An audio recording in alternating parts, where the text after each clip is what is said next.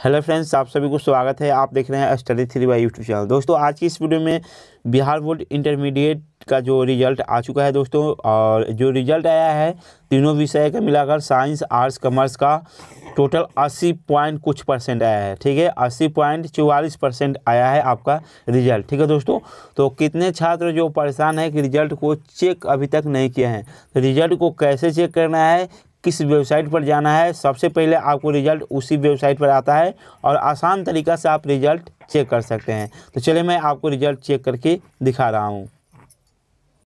सबसे पहले आप सभी को सर्च बार में टाइप करना है इंडिया रिज़ल्ट। ठीक है दोस्तों, इंडिया रिज़ल्ट टाइप करने के बाद इसे सर्च कर लेना है। सर्च करने के बाद फ़र्स्ट में यहाँ पर देख लीजिएगा, यहाँ पर बिहार लिखा है, बिहार का ऑप्शन आ जाएगा, इस पर आपको क्लिक करना है। क्लिक करने के बाद यहाँ पर फ़र्स्ट में बिहार स्कूल एग्जामिनेशन बोर्ड इस पर क्लिक करना है। ठीक क्लिक करने के बाद यहाँ फ़र्स्ट में देख सकते हैं, ठीक है इंटरमीडिएट रिज़ल्ट पर क्लिक करना है। क्लिक करने के बाद आप दो तरीके से रिज़ल्ट चेक कर कर सकते हैं, ठीक है।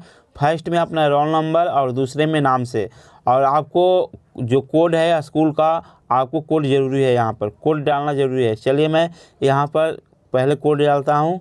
ठीक है, उसके बाद यहाँ पर मैं डालूँगा रोल नंबर ठीक है, यहाँ पर उसके बाद डालूँगा रोल नंबर ठीक है दोस्तों, और यहाँ जो गो है गो पर क्लिक करना है, ठीक है गो पर क्लिक करना है क्लिक करने के बाद यहाँ रिज़ल्ट आपका जो सामने आ जाएगा, आप देख सकते हैं यहाँ पर, ठीक है, सोनाली कुमारी है यहाँ पर, जो नालंदा ज़िला से है, साइंस से है, और यहाँ पर रिज़ल्ट जो इनका है फ़र्स्ट डिवीज़न तो इस तरह से आप रिज़ल्ट को चेक कर सकते हैं। ठीक है दोस्तों, अगर आपको कोई भी प्रॉब्लम आ रही है रिज़ल्ट चेक करने करने में तो आप लोग कमेंट करके ज़रूर बताइएगा। साथ में इस वीडियो को लाइक भी कीजिएगा।